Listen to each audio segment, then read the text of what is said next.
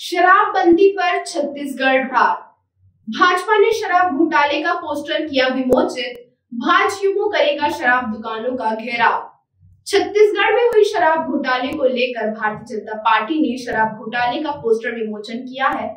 बता दें कि अब भारतीय जनता युवा मोर्चा शराब घोटाले को लेकर प्रदेश के 800 शराब दुकानों में पोस्टर चस्पा करेगी। इसके साथ महिला मोर्चा शराब घोटाले को लेकर प्रदर्शन करेगी।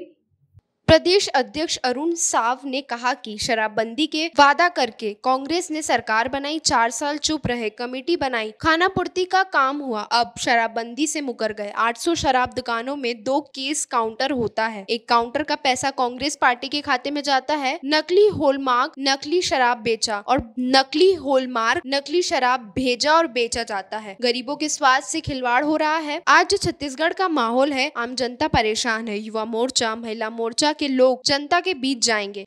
भाजपा के प्रदेश कार्यालय में शराबबंदी को लेकर प्रदेश प्रभारी ओम माथुर सहित अन्य प्रदेश अध्यक्ष, नेता प्रतिपक्ष उपस्थित रहे और एवं पोस्टर विमोचित किया। इस अवसर पर पूर्व मंत्री ब्रजमोहन अग्रवाल, महामंत्री ओपी चौधरी, पूर्व मंत्री केदार कश्यप मौजूद रहे। मेहरबान कदरदान साहिबान, ये है आई फाइनेंस का गोल्ड लोन मेला, मेरी जान। यहाँ जो भी आएगा छप्पड़ फाड़ के ले जाएगा। यही है सीधी बात जनाब। सिर्फ़ गोल्ड लोन नहीं एक नई कार या कुछ और भी शानदार ले जाएगा। आ गया है IIFL फाइनेंस गोल्ड लोन मेला। क्योंकि यहाँ सिर्फ़ गोल्ड लोन नहीं खुशियाँ बरती है।